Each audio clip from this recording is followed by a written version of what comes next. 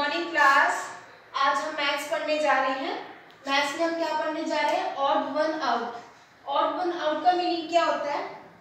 जो इन सब में से आपको ऑड लग रहा है, उसको हमें आउट कर देना है। ठीक है? ऑड मतलब क्या होता है? जो और सबसे बिल्कुल अलग है। ठीक है?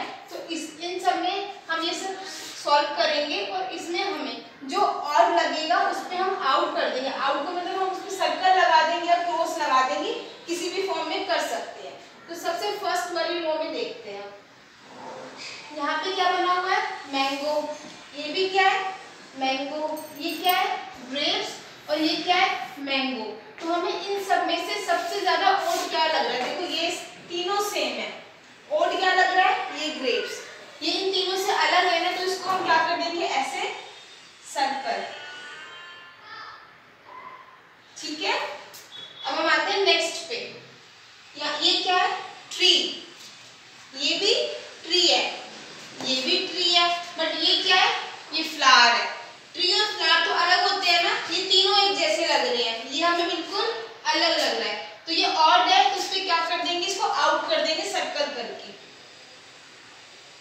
ठीक है? अब हम आते हैं थर्ड वाले पे। ये क्या है? स्क्वायर है। ये भी स्क्वायर है। ये क्या है? ट्रायंगल है।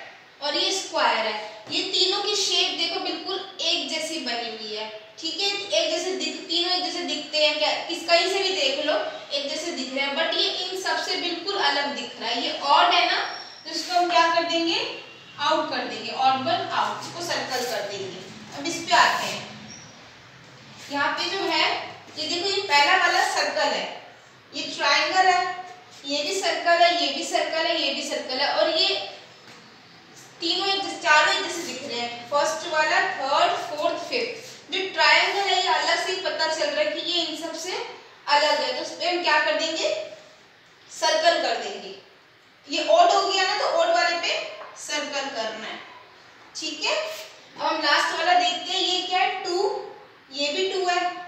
ये हो गया ten two two and two ठीक है? ये सब सेम है। सिर्फ़ एक ये है, जो अलग है, देखो ये वन टू फोर्थ वाला फिफ्थ वाला और सिक्स वाला, ये सारे सेम है। थर्ड नंबर वाला अलग है। ये टेन है ना? तो ये ऑड हो गया तो इस पर क्या कर देंगे? सर्कल कर देंगे।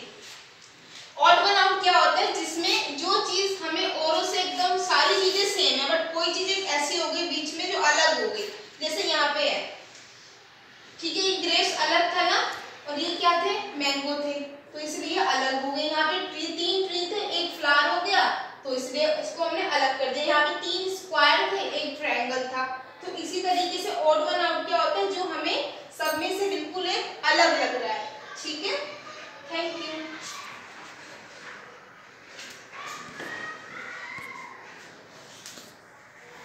हो गई बंद